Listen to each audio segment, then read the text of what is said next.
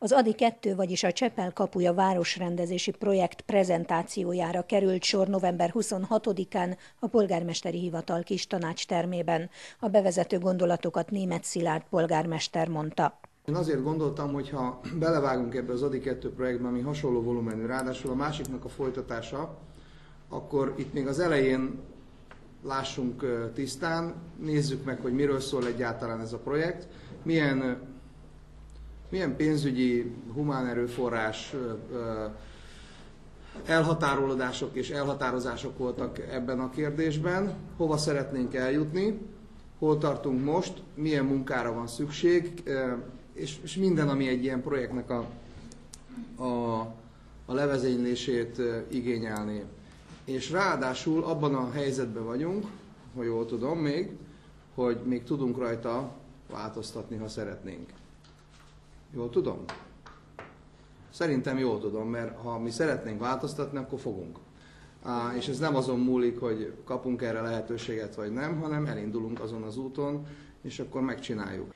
Az egyébként önálló területet érintő, de az ADI 1 projekttel mégis szinergiában lévő ADI 2 projektről Döbrönte Katalina városfejlesztési osztály munkatársa beszélt. A polgármester úr említette, hogy az ADI 1 és a Csapel kapuja program összefügg. Pályázati szempontból önálló projekt, egy önálló akcióterületen, de nagyon komoly lehetőség van abban, hogy a két akcióterület érintkezik, és hogyha nem a pályázati szempontokat, hanem Csepel életében betöltött szerepét nézzük, akkor természetszerűleg a két projekt az nagyon szoros összefüggésben és szinergiában van. Ami a pályázati útmutató alapján elvárás, hogy hogyan lehet a projektnek a területét kijelölni, abban alapvetően az akcióterületnek a kijelölése, annak a szemléletmódja meghatározó, integrált módon akcióterületen valósul meg, belterületen van, a fejlesztési elemek egymással hatásban, összefüggésben vannak, és minimum ezer fős lakónépességet kell produkálni a iparosított technológiájú projektben. Ez a Csepel kapuja projekt esetében 4050 fő, tehát ezeket a feltételeket teljesíti. Illetve van egy jogosultsági, itt az akcióterület látható, ami három városrészhez kapcsolódik, belváros észak, a gyártelep, illetve Szabótelep, az Adi Endre úttól északra levő terület. Az a célrendszer, amelyet végül is az előkészítő munka alapján meghatározásra került, a fő cél, hogy egy integrált fizikai és társadalmi megújulás menjen végbe ezen a területen, amely egyrészt az ingatlanpiaci státusz javításával valósul meg, az energiahatékonysági beavatkozásokkal és a zöld felületek megújításával, másrészt pedig a, a társadalmi szociális célcsoportja ennek a projektnek a fiatalok, gyermek és fiatalok, akik hátrányos helyzetűek, itt a hátrányos helyzetet egy széles értelemben értelmezve, és a projektnek az a egyik részcélja, hogy ennek a célcsoportnak az egész, egészséges szemléletű életmódjához, illetve az életalternatíváknak a bővítéséhez, kialakulásához járuljon hozzá. És szeretném a tevékenységeket bemutatni. A lakás célú, illetve a lakóépület megújítás, ahol a lakóépületeknek a, közös részeit lehet megújítani, az itt felsorolt társasházak, illetve egy esetben a templom utcában egy lakásszövetkezet vesz részt. A projekt előkészítése során minden iparosított technológiával paneles épület megkeresésre került. Nem vesz részt a projektben az Rákóczi út 50-56-os, ami tulajdonképpen az Aliente út egynek felelne meg, mert, mert ők már egy másik kormányzati pályázaton elindultak, és amikor döntést kellett arról hozniuk, hogy ott vesznek részt, vagy itt vesznek részt, akkor már nem tudták azt a döntést meghozni, hogy nem abban, mert olyan előre haladottsági állapotban volt, illetve a templom utcában van még egy lakásszövetkezet, akik pedig nem voltak nyitottak arra, hogy ebben a projektben részt vegyenek. A többi társasházzal pedig megkezdődött az együttműködés kialakítása. Az előadás után kérdéseket tehettek fel a jelenlévők. Ahogy a bemutatóban is elhangzott, velem többször konzultálásra került elsősorban az IVS, de konzultáltam a tervekkel kapcsolatosan is, és örülök, hogy most ezek a látványtervek vannak kitéve. Két konfliktuson volt, ami nem került feloldásra. Ez elsősorban a homlokzat színezéssel és beépítéssel volt összefüggésben. Történetesen ez a homlokzaton nem nagyon látszik, a másik oldalon viszont igen, ahol erkélyek vannak, hogy azok hol be vannak építve, hol nem vannak beépítve. Nagyon jó fotótéma számomra, mert vegyesen mindenki azt tesz az erkélyre, amit akar. A terven meggyőződtem, hogy ez az állapot került rögzítésre. Tóth Mihály polgármester úr számára írásba észrevételt tettem, hogy ez egységesen kerüljön kialakításra. Erre azt a választ kaptam, hogy ez a mintegy 30-40 millió forint már ebbe a pályázati költségkeretbe nem fér be. Ezt a tájékoztatást szeretném megosztani, hogy ebben a vonatkozásban ezt tartalmazza a terv. Tehát ha a látvány elkészült után e, olyan lesz, akkor ez ezért lesz olyan. A másik, amit nem tudtunk megoldani. Ezeken a homlokzatokon Balmax, Molino hirdetések vannak.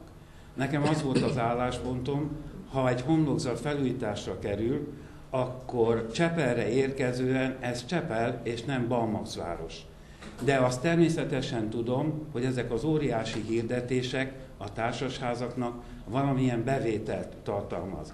Erre, hogy ez miképpen tehető programba, miképpen lehet ennek a térségnek arculata, az is lehet egy megoldás, hogy megtervezett módon, tehát nem e, viszintes barna homlokzati elemekkel, hanem egy egységes építészeti koncepció ter- keretében ezeket a molinókat befogadjuk. Nem történt meg a tervekben. Köszönöm szépen. Milyen elképzelések vannak, hogy ez a közösségi ház, vagy ez a kulturális ifjúsági klub, a sportlétesítmények létrehozásánál milyen elképzelések vannak, hogy milyen programok fognak, vagy milyen célral fog, kitűzött célral fognak ezek a klubok vagy létesítmények megvalósulni, és hogy erről lehet-e kapni egy tájékoztatást. Illetve, hogy a közterületeket hogy képzelik el ezekről egy bőve felvilágosítást, hogy esetleg lehessen hozzá javaslatokat tenni. Mind a hat társaság tudja azt, hogy mennyi az ő önrésze, tudja azt, hogy mennyit kell nekik ebbe a kasztába befizetni ahhoz, hogy az a program megvalósulhasson, ami az ő részüket illeti. Ennél a hat társasháznál öt házári paneles épület, egy salakblokkos, de az is ipari technológiás, tehát ezért vett részt ez a templom utcai négyemeletes ház. Egységesebb a, ennek a hat társaság, nevezzük társaságban, mert van egy lakásszövetkezet, de egyszerűség kedvéért, egységesebb volt az állásfoglalása az elvégzendő műszaki tartalommal kapcsolatban, mint az ADI 1-nél itt minden társasháznál a homlokzat hőszigetelés téma lett. Minden társasháznál, ahol erre lehetőség volt, és a költségkeretek biztosították a közös helységeknek, a lépcsőház, a közös folyosó szakasz nyílázáróinak a cseréje meg fog történni, és minden társasháznál a bejáratoknak a újra alakítása meg fog történni, ez nyílázáró cserét fog eredményezni a bejáratoknál. Tehát ilyen szempontból ez a hatásos ház egyszerűbb műszaki tartalom, de egységesebb, mint az ADI 1-nél, főleg az ADI 1-nél az indul állapotban volt. Bocsánat, a tetőszigetelés is bele tartozik? Tetőszigetelés nem tartozik bele. A nyilázáró csere, a közös tulajdonú helységek. Közös helységek. Így van. A projekt prezentáció zárásaként német Szilárd polgármester összegezte a hallottakat. Gyakorlatilag azt látom, hogy a Csepel kapuja egy, egy lépcsővel feljebb van, mint az Adi egy, de nem többel. És egy csomó olyan nyitott kérdés maradt meg számomra is, eh, amit valamilyen úton, módon rendezni kell. Tehát, hogyha nem tudjuk rendezni, hogy Csepel kapuja ne úgy nézzen ki, mint tényleg egy vásártelep, akkor nagy baj van. Ha a Csepel kapuja úgy fog kinézni, mint hogy most elkészültek a színezések a, az Árpád utcában, meg a Zsákogóban, akkor még nagyobb baj van. Tehát ezeket írják föl. És próbáljuk meg addig, amíg lehet, addig elrendezni. Tehát az nem mehet, egyetértek a főépítéssel, hogy Csepel kapuja az a Baumax hirdetéssel kezdődik. Én most nem fogok tudni nekiállni, kitakarítani ezt az egész Csepel kapu ügyet, de én megígérhetem önöknek 2014-re ki lesz takarítva. Tehát ahogy bejövünk Csepelre, az ember szédelek tőle. Borzasztó. Tehát egy nyíregyházás a történet ott, és ha négyes úton megyünk be, minden van, ami a csövön kifér, csak az nem, ami nyíregyházára lenne jellemző. Na most nekünk jóval kisebb területünk van, legalább ezen a részen, ami a fővároshoz, ez, ez, ez egyik legfontosabb szerintem a két híd, a Gubacsi híd meg a Kvassai híddal való találkozás, legalább ezen tegyünk rendet. És hogyha erre jön egy kazal pénz az Európai Uniótól, akkor úgy kell letárgyalni a lakásszövetkezetekkel, meg a lakástulajdonosokkal, meg a mit tudom én még kikkel, akik ebben részt vesznek, hogy vagy részt tudnak venni a történetben bizonyos feltételekkel, vagy nem.